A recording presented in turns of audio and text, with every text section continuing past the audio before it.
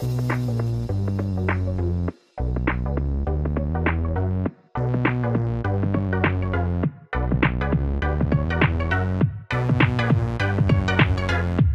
ជំរាបសួរបងប្អូនសូមស្វាគមន៍ជួបមកកាន់មេរៀនរបស់ខ្ញុំ ក្នុង channel YouTube របស់ខ្ញុំហើយសូមស្វាគមន៍ចំពោះការសិក្សាភាសាអង់គ្លេសនិងការគ្រប់គ្រងនៅមេរៀនរបស់ខ្ញុំកន្លងមក Okay so today we're going to have another conversation Our lesson today we talk about a business appointment អញ្ចឹងថ្ងៃនេះគឺយើងនឹងមានមេរៀនថ្មីមួយទៀតគឺចំណងជើងរបស់វាគឺ a business appointment អញ្ចឹងពាក្យ business ហ្នឹងគឺមានន័យជំនួញ appointment ការណាត់ជួបអញ្ចឹងការណាត់ជួបខាងផ្លូវជំនួញការណាត់ជួបខាងផ្លូវរកស៊ីណាអញ្ចឹង a business ជំនួញ appointment ការណាត់ជួបអញ្ចឹងពីរនេះវាជា compound noun ណាជានាមផ្សំគ្នា ការណាត់ជួបខាងផ្លូវជំនួញ អូខេណា Bill Lina this is Bill speaking Lina នេះគឺ Bill កំពុងនិយាយដូចខ្ញុំអាសាប្រាប់បងប្អូនអញ្ចឹងកាលណាបងប្អូននិយាយទូរស័ព្ទគឺបងប្អូនត្រូវទៅប្រាប់ឈ្មោះយើងសិនហើយការដែលយើងប្រាប់ឈ្មោះយើងហ្នឹងគឺយើងមិនចាំបាច់ឆ្លើយមិនចាំបាច់និយាយថា Hello my name is Lena អញ្ចឹងទេណាវាវែងឆ្ងាយ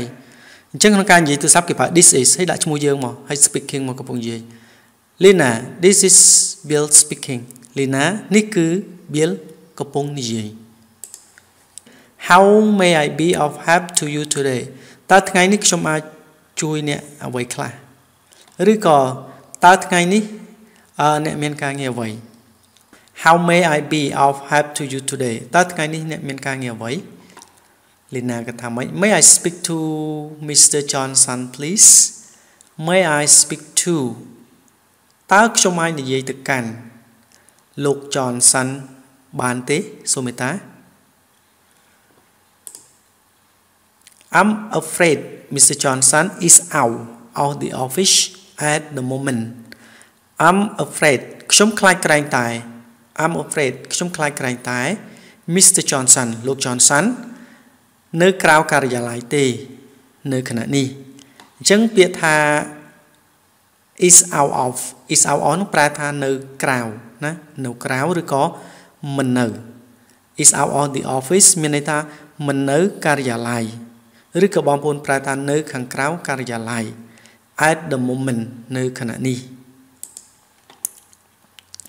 Would you like me to take a message Would you like me តើអ្នកត្រូវការខ្ញុំណា Would you like me តើអ្នកត្រូវការខ្ញុំ to take a message ទទួលនៅសារបណ្ដាំផ្ញើបានទេអញ្ចឹងពាក្យ take a message មានន័យថាទទួលយកសារទទួលយកការផ្ដាំផ្ញើ អញ្ចឹងយើងប្រែថា would you like me តើអ្នកត្រូវការខ្ញុំ to take a message ទទួលយកសារអឺការបណ្ដាំផ្ញើបានទេលីណា mm actually អឺពិតជាបាន actually អឺពិតប្រកបហើយពិតជាបាន this call is rather urgent ការទេទូរស័ព្ទនេះ គឺហាក់ដូចជាបន្ទាន់ហាក់ដូចជាបន្ទាន់ណាអញ្ចឹង this call ការទេទូរស័ព្ទនេះ is គឺ rather urgent rather urgent rather urgent ហាក់ដូចជាបន្ទាន់ហាក់ដូចជាបន្ទាន់មានន័យថាវាជារឿងបន្ទាន់ណា rather ហាក់ជា urgent ហ្នឹងគឺបន្ទាន់ we spoke yesterday about a delivery problems that Mr Johnson mentioned we spoke ពួកយើងបាននិយាយ spoke នឹងបាននិយាយ speak និយាយ past tense spoke in ខ្មែរបាននិយាយ yesterday កាលពីម្សិលមិញ about អំពី a delivery problems អំពីបញ្ហានៃការចែកចាយអញ្ចឹងពាក្យ delivery delivery មានន័យថាការចែកចាយការចែកចាយអញ្ចឹង problems បញ្ហាអញ្ចឹងបញ្ហានៃការចែកចាយ that ដែល Mr Johnson ដែលលោក Johnson mention បានលើកឡើង mention គឺលើកឡើងឬក៏លើកយកមកនិយាយ mention Did he leave any information with you តើគាត់បានទុកនៅព័ត៌មានខ្លះជាមួយនឹងអ្នកទេអញ្ចឹង did he leave ពាក្យ leave ប្រែថាទុកណាទុកឲ្យបន្សល់ទុក leave leave ទុកឲ្យឬក៏បន្សល់ទុក any information ព័ត៌មានខ្លះ information ព័ត៌មានព័ត៌មានខ្លះហើយនេះនឹងខ្លះ information ព័ត៌មានព័ត៌មានខ្លះ with you ជាមួយនឹងអ្នកទេ as a matter of fact ជាការពិត as a matter of fact វាស្មើនឹងពាក្យថា actually it the same as as a matter of fact ជាការពិត he did គាត់បានទុកគាត់បានទុកនេះ he did ហ្នឹង he live uh, information គាត់បានទុកព័ត៌មានខ្លះ he said that គាត់បាននិយាយថា said នឹងបាននិយាយមកពីពាក្យ say say said said he said that គាត់បាននិយាយថា a representative from your company might be calling គាត់បាននិយាយថាតំណាង មកពីក្រុមហ៊ុនរបស់អ្នកអាចនឹងត្រូវបានកោះហៅឬក៏អាចនឹងត្រូវបានទេហៅអញ្ចឹងពាក្យពាក្យថា a representative អ្នកតំណាង អ្នកតំណាងណាអ្នកតំណាង from your company ពីក្រុមហ៊ុនរបស់អ្នក your company ក្រុមហ៊ុនរបស់អ្នក might be អាចនឹង calling អាចនឹងត្រូវបានកោះហៅឬក៏អាចនឹងត្រូវបានទេហៅ he also asked me to ask you a few questions he also គាត់ផងដែរ ask me សុំឲ្យខ្ញុំនឹង ask you សួរអ្នក a few question នៅសំណួរទី3ណានៅសំណួរមួយចំនួនសំណួរទី3អញ្ចឹង a few a few មានន័យថាពី3 one or two a few questions មានន័យសំណួរទី3 ask ពាក្យ ask នេះគឺមានន័យថាសុំឬក៏សួរនេះ ask កន្លែងនេះគឺសុំហើយ ask កន្លែងនេះសួរអញ្ចឹង he also asked me គាត់ផងដែរនេះ also also also ផងដែរណា សុំឲ្យខ្ញុំនឹង ask me នឹងសុំឲ្យខ្ញុំនឹង to ask មានន័យសួរ ask you សួរអ្នក a few question នៅសំណួរពី3នៅពី3សំណួរឬក៏នៅសំណួរខ្លះអញ្ចឹងពាក្យ ask មានសុំ or សួរអូខេមានន័យសុំឬក៏សួរ great ល្អណាស់ I love to see this problem resolved as quick as possible great ល្អខ្លាំងណាស់ ខ្ញុំចង់ឃើញបញ្ហានេះត្រូវបានដោះស្រាយភ្លាមភ្លាមតាមដែលអាចធ្វើទៅបាន great great mean very very good ល្អណាស់ I love to see I love to see នឹងប្រែថាខ្ញុំចង់ឃើញណាខ្ញុំចង់ឃើញ this problem បញ្ហានេះ resolve resolve ត្រូវបានដោះស្រាយត្រូវបានដោះស្រាយ as quickly as ភ្លាមភ្លាមដូច possible ដូចតែអាចធ្វើទៅបានអញ្ចឹង as plus adjective plus as អញ្ចឹងកាលណាគេនិយាយពី as បូកមួយគុណនាមហើយបូកជាមួយ as អញ្ចឹងគឺ equal comparative ការប្រៀបធៀបកម្រិតដូចណា as quickly as possible មានន័យថាអឺរហ័សភ្លាមភ្លាមតាមដែលអាចគេអញ្ចឹង quickly មានន័យរហ័សឬក៏លឿនណាខ្ញុំចង់ឃើញបញ្ហានេះត្រូវបានដោះស្រាយលឿនភ្លាមភ្លាមតាមដែលអាចធ្វើទៅបាន well ល្អណាស់ we still haven't received the shipment of earring វ៉ាល្អណាស់ពួកយើងនៅតែមិនទាន់ទទួលបាន នៅការដឹកជញ្ជូននៃក្រវិលអញ្ចឹង earring ក្រវិល that was supposed to arrive last Thursday ដែលរំពឹងថានឹងមកដល់នៅថ្ងៃប្រហ័សមុនអញ្ចឹងពាក្យថា receive receive នឹងទទួលបាន shipment shipment ការដឹកជញ្ជូន ការដឹកជញ្ជូន earring earring នឹងក្រវិលក្រវិលពាក្យតិចហ្នឹង suppose រំពឹង suppose រំពឹង last Saturday last Saturday ថ្ងៃប្រហ័សមុន yes i'm terrible sorry ខ្ញុំសោកស្ដាយណាស់ terrible sorry ខ្ញុំសោកស្ដាយណាស់ចឹងពាក្យថា terrible it mean very bad ដកអាក្រក់ណាដកអាក្រក់ ហើយពាក្យ sorry នេះគឺមានន័យថាសោកស្ដាយឬក៏សំទោស The word sorry there are two meaning in Khmer language you can say សំទោស or you can say សោកស្ដាយ in Khmer language okay I'm terrible sorry ខ្ញុំសោកស្ដាយខ្លាំងណាស់ about that អំពីរឿងនោះខ្ញុំអញ្ចឹងពាក្យថា in the meantime ពេលដំណើរគ្នានេះដែរណាពេលជាមួយគ្នានេះដែរ in the meantime ពេលជាមួយគ្នានេះដែរ I spoken ខ្ញុំបាននិយាយ with ជាមួយនឹង with ជាមួយនឹង our delivery department ផ្នែកដឹកជញ្ជូន department គឺផ្នែក or you can say ស្ថាប័ន in Khmer language ផ្នែក or ស្ថាប័ន delivery មានន័យថាស្ថាប័នឬក៏ផ្នែកដឹកជញ្ជូនរបស់យើង and they assume me ហើយពួកគេបានធានាឲ្យខ្ញុំ assume me assume មានន័យថាធានា assume me ពួកគេបានធានាឲ្យខ្ញុំ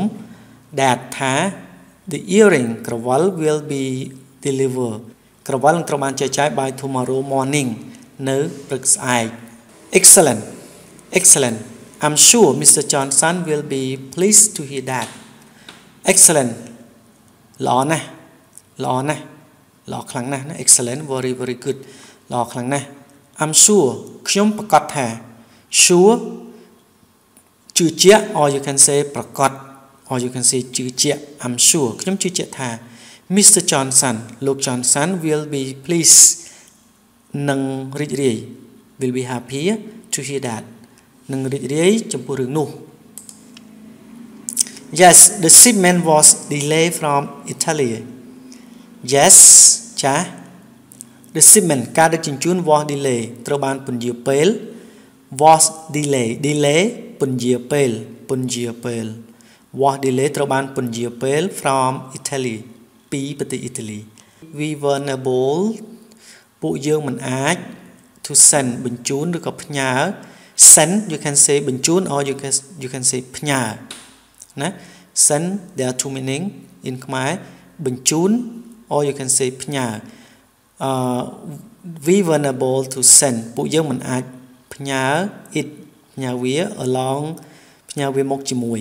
along នឹងមកជាមួយ until រហូតដល់ this morning រហូតដល់ព្រឹកនេះ I see Mr. Johnson also wanted to schedule a meeting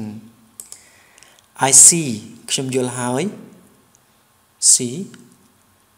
ខ្ញុំយល់ហើយ Mr. Johnson លោក Johnson also ផងដែរ wanted wanted នឹងចង់ to schedule ចង់រៀបចំការវិភាគ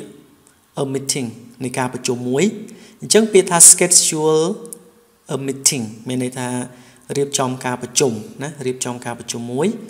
with you ជាមួយអ្នក later នៅពេលក្រោយ this week សប្តាហ៍នេះចឹងពាក្យ later នោះពេលក្រោយ this week នៅសប្តាហ៍នេះ certainly certainly ពិតប្រាកដហើយ certainly certainly ពិតប្រាកដហើយ what is he doing on Wednesday afternoon តើគាត់នឹងធ្វើអ្វី នៅរសៀលថ្ងៃពុធ what is he doing តើគាត់នឹងធ្វើអ្វីចឹងយើងអាចប្រើ present continue ក្នុងប្រយោគអនាគតក្រងទុកខ្លីៗ we use present continuous to uh, talk about a future arrangement in a short in a short time what is he going to do តើគាត់នឹងធ្វើអ្វី on Wednesday afternoon នៅរសៀលថ្ងៃពុធ I'm afraid ខ្ញុំខ្លាចក្រែងតែ I'm afraid ខ្ញុំខ្លាចក្រែងតែ Mr Johnson នឹងជួបជាមួយនឹងអតិថិជន ខ្លះទៀតនៅឯក្រៅក្រុង How about Wednesday morning ចុះ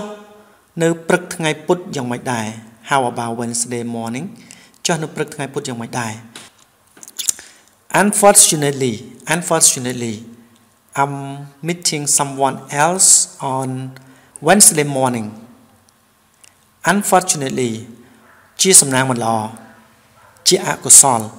I'm meeting someone ខ្ញុំនឹងជួបជាមួយនឹងនរណាម្នាក់ផ្សេងទៀត someone else មនុស្សផ្សេងទៀតណាមនុស្សផ្សេងទៀត someone else មនុស្សផ្សេងទៀត on Wednesday morning នៅព្រឹកថ្ងៃពុធ Is he doing anything on Thursday morning តើគាត់នឹងធ្វើរឿងអ្វីទេ on Thursday morning នៅព្រឹកថ្ងៃប្រហ័ស No it looks like he's free then No ទេ it looks like វាទំនងជាគាត់ទំនេរនៅពេលនោះអញ្ចឹងពាក្យថា look like look like in Khmer language ទំនងជាទំនងជាណា probably probably it mean probably ទំនងជា it look like វាទំនងជា he's free then គាត់ទំនេរ free ទំនេរ then នៅពេលនោះ great should i come by at 8 great ល្អខ្លាំងណាស់តើខ្ញុំអាចមកនៅម៉ោង8គត់បានទេ should I come តើខ្ញុំអាចមក by at 8នៅម៉ោង8បានអត់8 o'clock while he usually holds a staff meeting at 8 well ល្អណាស់គាត់ជាធម្មតាគាត់ជាធម្មតា usually ជាធម្មតាជាធម្មតា hold a staff meeting រៀបចំការប្រជុំណារៀបចំការប្រជុំបុគ្គលិកអញ្ចឹងពាក្យ hold a meeting មានន័យថាប្រជុំពាក្យហ្នឹងបបោកជួយនេះ holds a meeting ប្រជុំ staff បុគ្គលិក hold a staff meeting ប្រជុំបុគ្គលិកគាត់ជាធម្មតាប្រជុំបុគ្គលិក at 8នៅម៉ោង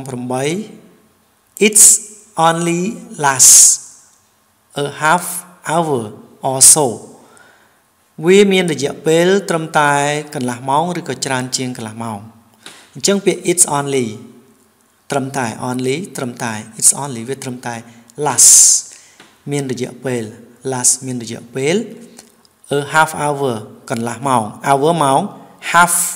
half កន្លះ a half hour កន្លះម៉ោង30 minutes also ឬក៏ច្រើនជាងនឹង also how about 9ចុះម៉ោង9យ៉ាងម៉េចដែរ how about 9ចុះម៉ោង9យ៉ាងម៉េចដែរ yes ចាស់9 would be great ម៉ោង9គឺល្អណាស់9 would be great ម៉ោង9គឺវានឹងល្អណាស់ Okay I'll schedule that អូខេខ្ញុំនឹងរៀបចំធ្វើកំណត់ពេលវេលាម៉ោងនោះហើយ អញ្ចឹងពាក្យ schedule នឹងមានន័យថារៀបចំតារាងពេលវេលា schedule មានន័យថារៀបចំកាលវិភាគឬក៏រៀបចំតារាងពេលវេលា that អំពីរឿងនោះ Mr Johnson at 9លោក Johnson នៅម៉ោង9 Thursday uh morning ព្រឹកថ្ងៃប្រហ័ស Is there anything else តើមានរឿងខ្លះទៀតទេតើមានការងារអ្វីខ្លះទៀតទេ Is there anything else is there anything else តើមានការងារអ្វីខ្លះទៀតទេ I can help you with ខ្ញុំអាចជួយអ្នក No ទេ I think that everything ខ្ញុំគិតថានោះគឺវាសពគ្រប់អស់ហើយអញ្ចឹងពាក្យ everything គឺមានន័យសពគ្រប់ណា I think that everything ខ្ញុំគិតថានោះគឺវាសពគ្រប់ហើយ Thank for your help អរគុណសម្រាប់ការជួយរបស់អ្នកអូខេអញ្ចឹងបងប្អូនមេរៀនរបស់យើងប៉ុណ្ណឹងនៅទីបញ្ចប់សូមអរគុណសម្រាប់ការតាមដានទស្សនា Thank you very much for your watching and I hope you like and enjoy my lesson. Don't forget to subscribe my channel and click the bell to get more lesson ជឿកុំភ្លេចជួយ subscribe និងជួយសញ្ញាកណ្ដឹងដើម្បីទទួលបានមេរៀនបន្ថែមជូនពរលោកអ្នកមានសុខភាពល្អ